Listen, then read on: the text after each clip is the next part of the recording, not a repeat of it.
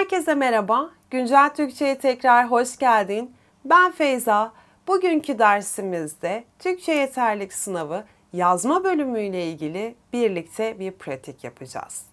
Hazırsanız dersimize başlayalım.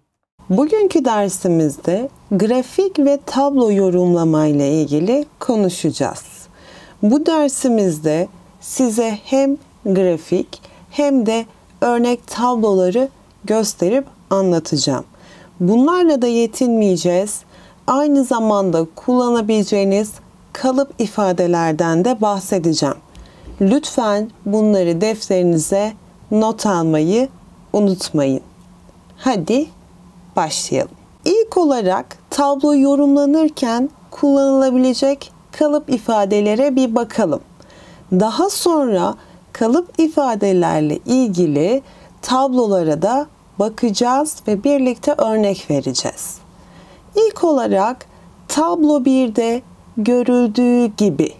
Tablo 1'de görüldüğü üzere. Tablo 2'den anlaşıldığı gibi. Tablo 2'deki verilerden hareketle. Tablo 3'teki yüzdeliklerden hareketle. Şimdi ilk olarak tablomuza bakalım. Yukarıda ne yazıyor? Tablo 1.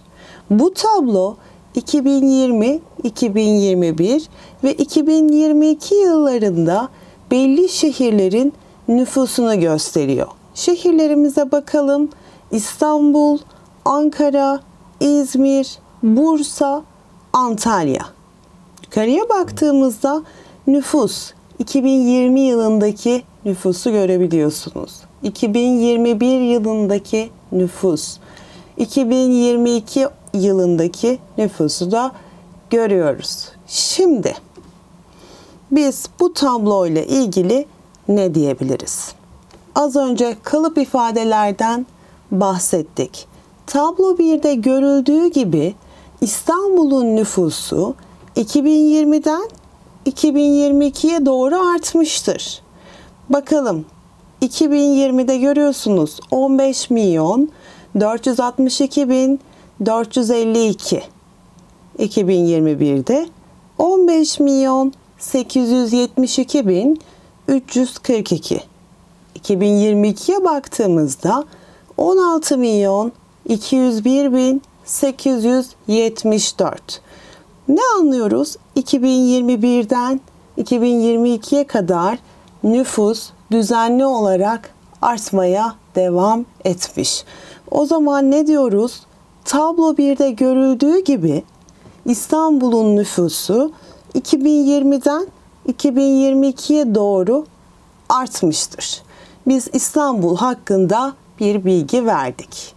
Şimdi tekrar bakalım. Tablo 1'de görüldüğü gibi demiştik. Tablo 1'de görüldüğü gibi İstanbul'un nüfusu 2020'den 2022'ye doğru artmıştır. Yani yükselmiştir demek istiyoruz. Tablo 1 hakkında az önce konuştuk. Şimdi bir diğer kalıp ifademizi kullanarak bir cümle oluşturalım. Tablo 1'de görüldüğü üzere Ankara'nın nüfusu artmaktadır. Hemen şehir kısmından Ankara'yı buluyoruz ve bakıyoruz. Ankara 2020 yılında 5 milyon 663 bin 322 imiş. 2021 yılında 5 milyon 801 bin 245. 2022 yılında 5 milyon 942 bin 103'müş. Ne dedik? Tablo 1'de görüldüğü üzere Ankara'nın nüfusu artmaktadır. Tekrar kalıp ifademize bakalım. Tablo 1'de görüldüğü üzere nokta nokta. Tablo 1'de görüldüğü üzere Ankara'nın nüfusu artmaktadır.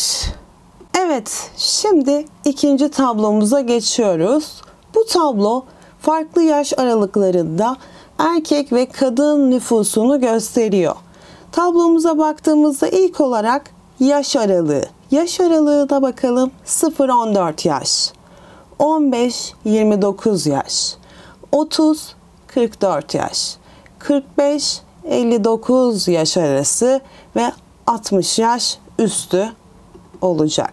Daha sonra baktığımızda yaş aralıklarına göre erkek nüfusu, bir diğer sütunda kadın nüfusunu bize veriyor bu tablo. Şimdi tablomuzla ilgili kalıp ifademizi kullanalım. Tablo 2'den anlaşıldığı gibi farklı yaş aralıklarında erkek ve kadın nüfusunda belirgin farklılıklar görülmektedir. Burada ne yapıyoruz? Farklı yaş aralığı dediğimizde 0-14 yaş, 15-29 yaş, 30-44 yaş, 45-59 yaş ve 60 üzeri yaş aralığına bakıyoruz. Erkek nüfusu ve kadın nüfusunda bir farklılık söz konusu. Burada mutlaka sayılara tek tek bakmanız gerekebilir. Örnek cümlemize tekrar bakalım. Tablo 2'den anlaşıldığı gibi farklı yaş aralıklarında erkek ve kadın nüfusunda belirgin farklılıklar görülmektedir. Kalıp ifademiz nedir? Tablo 2'den anlaşıldığı gibi. Neden tablo 2 dedik? Ben şurada tablonun ismini size gösterdim. Tablo 2. Mutlaka buna dikkat edin. Tablo 2'ye devam ediyoruz. Tablo 2'deki verilerden hareketle farklı yaş grupları arasında cinsiyet dağılımındaki değişimleri görebilmekteyiz. Farklı yaş grupları dediğimizde 0-14 yaş aralığı, 15-29 yaş aralığı, 30-44 yaş aralığı, 45-59 yaş aralığı ve 60 yaş üstünü anlamamız gerekiyor. Cinsiyet dediğimizde erkek ve kadın. Baktığımızda sayılar birbirine eşit değil. Bu da dağılımdaki değişikliği bize veriyor. Tablo 2'deki verilerden hareketle Tablo 2'deki verilerden hareketle farklı yaş grupları arasında cinsiyet dağılımındaki değişimleri görebilmekteyiz. Şimdi üçüncü tabloya geçiyoruz. Bu tablo farklı yaş aralıklarındaki erkek ve kadın nüfusunun yüzdelik dilimlerini göstermektedir. Örneğin 0-14 yaş aralığında nüfusun %51.22'si erkeklerden oluşurken %48.78'i kadınlardan oluşmaktadır. Şöyle sırayla bir bakalım. 15-29 yaş aralığında nüfusun %49.53'ü erkeklerden oluşurken %50.47'si kadınlardan oluşmaktadır. 30-44 yaş aralığında nüfusun %50.40'ı erkeklerden oluşurken %49.60'ı kadınlardan oluşmaktadır.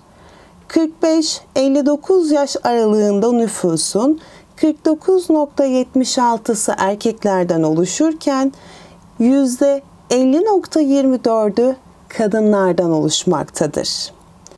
60 yaş üstü e, nüfusa baktığımızda %43.28'i erkeklerden oluşurken %56.72'si kadınlardan oluşmaktadır. Ne yaptık bu tabloda? Yaş aralığına bağlı olarak erkek ve kadın nüfusu hakkında bilgiler edindik. Şimdi tablo 3'teki yüzdeliklerden hareketle farklı yaş aralıklarında cinsiyet dağılımının çeşitlilik gösterdiği görülmektedir. Değil mi? Sayılar yine aynı değil. Farklı yaş aralıkları cinsiyet dağılımındaki çeşitliliği de bize gösteriyor. Şimdi bakalım tablo 3'teki yüzdeliklerden hareketle nokta nokta. Bu bizim kalıp ifademiz. Bir diğeri tablo 3'teki yüzdeliklerden hareketle farklı yaş aralıklarında cinsiyet dağılımının çeşitlilik gösterdiği görülmektedir. 2. Tablo ile ilgili bilgi verirken kullanılabilecek kalıp ifadeler. Şimdi sırayla kalıp ifadelere bakalım. Daha sonra bu kalıp ifadeleri grafik ya da tablolar üzerinde örneklendirerek inceleyelim. Tablo 1'de nokta nokta yer almaktadır. Tablo 1'de nokta nokta yer almaktadır. Tablo 2 nokta nokta ile ilgili bilgi vermektedir. Tablo 2 nokta nokta ile ilgili bilgi vermektedir. Tablo 3'te nokta nokta ilgili yüzdelikler yer almaktadır.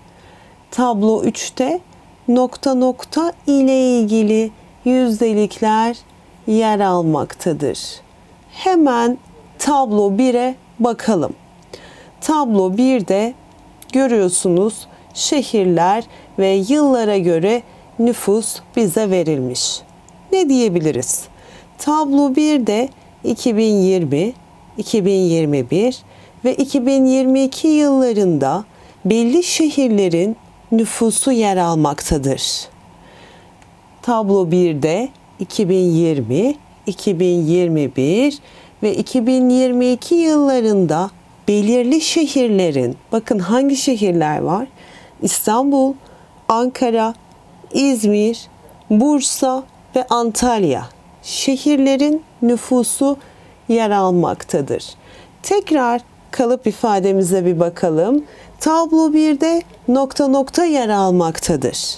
Tablo 1'de 2020, 2021 ve 2022 yıllarında belirli şehirlerin nüfusu yer almaktadır. Ya da şu şekilde de söyleyebiliriz. Tablo 1'de yıllara göre belli şehirlerin nüfusu yer almaktadır. Bu şekilde de kullanabilirsiniz. Biz daha çok bu şekilde kullanıyoruz. Tablo 2'ye bakalım. Yaş aralıkları ve erkek kadın nüfusu tabloda bize verilmiş. Tablo 2 farklı yaş aralıklarındaki kadın ve erkek nüfusu ile ilgili bilgi vermektedir. Bakıyoruz farklı yaş aralığı dediğimiz şey 0-14 yaş, 15-29 yaş aralığı, 30-44 yaş aralığı, 45-59 yaş aralığı ve 60 yaş üstü. Ne yaptı bize? Erkek ve kadın nüfusunu verdi. Peki biz kalıp ifademizi nasıl kullandık? Hemen şuradan bakalım. Tablo 2 nokta nokta ile ilgili bilgi vermektedir. Tablo 2 farklı yaş aralıklarındaki kadın ve erkek nüfusu ile ilgili bilgi vermektedir. Şimdi tablo 3'e bakalım. Tablo 3'te yine farklı yaş aralıkları verilmiş. Erkek ve kadın nüfusu yüzdelik olarak verilmiş burada. Peki kalıp ifademizi nasıl kullanabiliriz? Tablo 3'te kadın ve erkek nüfusun oranı ile ilgili yüzdelikler yer almaktadır. Tablo 3'te kadın ve erkek nüfusun oranı ile ilgili yüzdelikler yer almaktadır. Tabloya baktığımızda farklı yaş aralıklarını görebiliyoruz ve nüfusun erkek kadın olarak yüzdelik değerlerini de görebiliyoruz. Tekrar kalıp ifademize ve örneğimize bir bakalım. Tablo 3'te nokta nokta ilgili yüzdelikler yer almaktadır. Tablo 3'te kadın ve erkek nüfusun oranı ile ilgili yüzdelikler yer almaktadır. Şimdi 3'e geçiyoruz. Tablo ya da grafikle ilgili değişimleri açıklamak için hangi kalıp ifadeleri kullanabiliriz? Tablo ya da grafik incelendiğinde belirgin bir artış ya da azalış gözlemlenmektedir. Zamanla tabloda belirgin bir değişim gözlemlenmektedir. Hiç acele etmeyin. Bunları tablo ve grafik üzerinde de göstereceğiz. Hadi devam edelim. Tablo 4'e bakalım. Farklı yılları görüyoruz. 2018, 2019, 2020 ve 2021. Diğer sütuna baktığımızda nüfus bize verilmiş. 500 bin, 520 bin, 540 bin, 560 bin. Peki kalıp ifademiz ya da cümlemize bakalım. Tablo incelendiğinde yani tabloyu inceliyoruz, bakıyoruz. Tablo incelendiğinde belirgin bir artış gözlemlenmektedir. Artış, yükseliş. Bakalım. 2018'de 500 bin. 2019'da 520 bin. 20 bin arttı. 2020'de 540 bin tekrar artmaya devam etti. 2021'de 560 bin. Ne oldu? Belirgin bir artış gözlemlendi. Tablo 5'e bakalım. Yine bize yıl vermiş. Sütunda ilk sütunda yılı vermiş. 2013, 2014, 2015 ve 2016. Diğer sütuna baktığımızda nüfus hakkında bize bilgi veriyor. Tablo incelendiğinde belirgin bir düşüş ya da azalış gözlemlenmektedir. İkisinden birini kullanın ya düşüş ya azalış.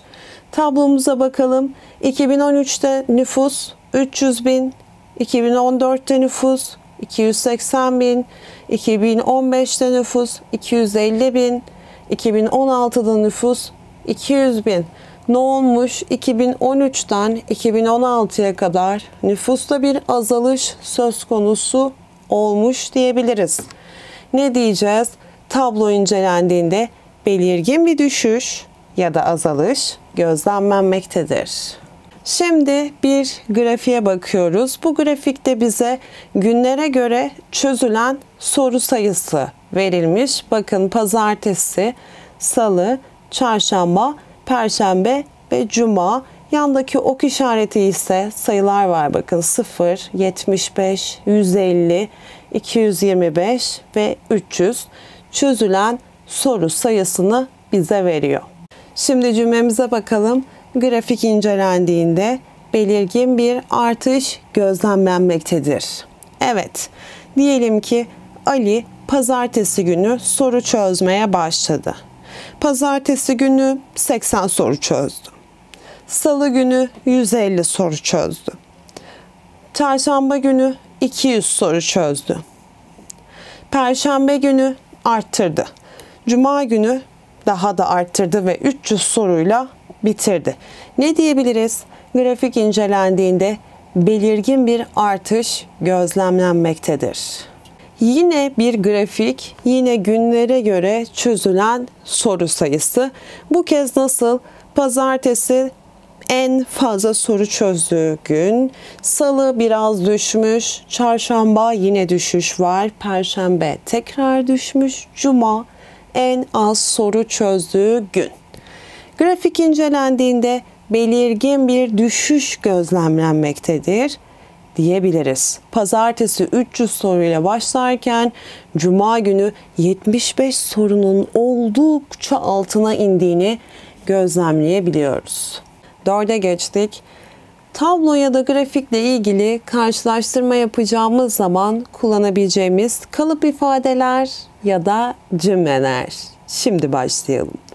Tablo ya da grafik gruplar arasındaki farkları net bir şekilde göstermektedir. Tablo ya da grafik gruplar arasındaki farkları net bir şekilde göstermektedir. Görsel verilere göre A ile B arasındaki ilişki nokta nokta. Görsel verilere göre A ile B arasındaki ilişki nokta nokta. Tablo ya da grafik farklı kategoriler arasında karşılaştırma yapmayı mümkün kılar. Tablo ya da grafik farklı kategoriler arasında karşılaştırma yapmayı mümkün kılar. Farklı kategoriler arasında gözlemlenen farklar nokta nokta. Farklı kategoriler arasında gözlemlenen farklar nokta nokta. Tablodaki gruplar arasındaki benzerlikler ve farklar açıkça görülmektedir. Tablodaki gruplar arasındaki benzerlikler ve farklar açıkça görülmektedir. Şimdi tablomuza geçelim. Bize ilk sütunda yılları vermiş, daha sonra erkek nüfusu, kadın nüfusu ve son sütunda ise toplam nüfusu görebilmekteyiz. Şöyle bir bakalım. 2000 yılında erkek nüfusu 35 milyon, kadın nüfusu 35 milyon, toplam nüfus 70 milyon. 2005 yılında erkek nüfusu 37 milyon, kadın nüfusu 38 milyon, toplam nüfus 75 milyon. 2010 yılında erkek nüfusu 40 milyon, kadın nüfusu 40 milyon, toplam nüfus 80 milyon. 2015 yılında erkek nüfusu 42 milyon, kadın nüfusu 43 milyon, toplam nüfus 85 milyon. 2020 yılında erkek nüfusu 45 milyon, kadın nüfusu 45 milyon, toplam nüfus 90 milyon. Şimdi cümlemize bakalım. Tablo farklı gruplar aralarındaki farkları net bir şekilde göstermektedir. Farklı gruplar dediğimizde erkek nüfusu ve kadın nüfusundan bahsediyoruz. Tamamen eşit değil. Buradaki farkları net bir şekilde görebiliyoruz çünkü sayısal olarak bize bu tabloda vermiş. Beşinci maddeyle devam ediyoruz. Tablo ya da grafikle ilgili tanımlama yazarken neler diyebiliriz? Sırasıyla bir bakalım. Daha sonra tablolarla e, örneklendirelim. Tablodan hareketle nokta nokta söylenebilir. Tablodan hareketle nokta nokta söylenebilir. Bir diğerine bakalım. Yaş ve cinsiyet grubu arasında yapılan çalışmanın sonuçları nokta nokta göstermiştir. Yaş ve cinsiyet grubu arasında yapılan çalışmanın sonuçları nokta nokta göstermiştir. Bir diğeri nokta nokta gözlemlenmiştir. Nokta nokta gözlemlenmiştir. Nokta nokta yaşanmıştır. Nokta nokta yaşanmıştır. Nokta nokta görülmüştür. Görülmüştür. Şimdi tablo 1'e bakalım. Tablo 1'de bize neler vermiş? Yaş grubu, cinsiyet, başarı oranını yüzde olarak vermiş. Sırasıyla bakalım. Yaş grubu 20-30 yaş, 30-40 yaş, 40-50 yaş arasından bahsediyoruz. Cinsiyet erkek ve kadın olarak tabii ki ikiye ayrılmış bu tabloda. Başarı oranlarını görüyorsunuz. 20-30 yaş arası erkekler %75, 20-30 yaş arası kadınlar %80, 30-40 yaş arası erkek %70, 30-40 yaş arası kadın %85, 40-50 yaş arası erkek %65, 40-50 yaş arası kadın %90 başarı sağlamış. Peki biz ne diyebiliriz? Farklı yaş ve cinsiyet grupları arasındaki başarı oranları yüzde olarak gösterilmiş. Bize ne verdi? Yaş gruplarını verdi, farklı cinsiyetleri verdi ve buna göre başarı oranlarını yüzde olarak bize verdi. Ne diyebiliyoruz? Farklı yaş ve cinsiyet grupları arasındaki başarı oranları yüzde olarak gösterilmiştir diyoruz. Tablo 2'ye geçtiğimizde tekrar aslında aynı tabloyu görüyoruz. Yaş grubu, cinsiyet ve buna göre başarı oranı karşımıza çıkıyor. Farklı yaş grupları var. Erkek, kadın cinsiyet kısmında görüyoruz ve bunlara göre de başarı oranını bize yüzde olarak vermiş. Şu şekilde söyleyebiliriz.